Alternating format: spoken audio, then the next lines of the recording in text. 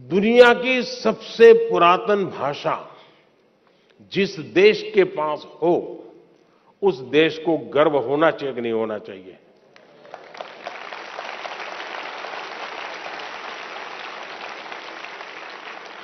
सीना तान करके दुनिया को कहना चाहिए कि नहीं कहना चाहिए कि विश्व की सबसे पुरातन भाषा हमारे पास है, कहना चाहिए कि नहीं कहना चाहिए। आपको मालूम है? हमारी तमिल भाषा, ये दुनिया की सबसे पुरानी भाषा है। पूरी दुनिया की।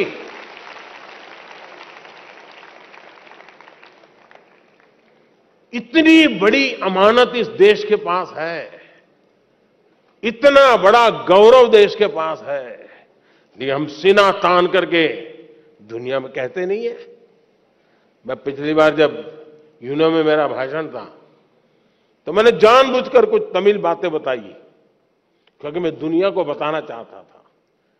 मुझे गर्व है कि तमिल भाषा दुनिया की श्रेष्ठ भाषा, दुनिया की सबसे पुरानी भाषा ये मेरे देश की है।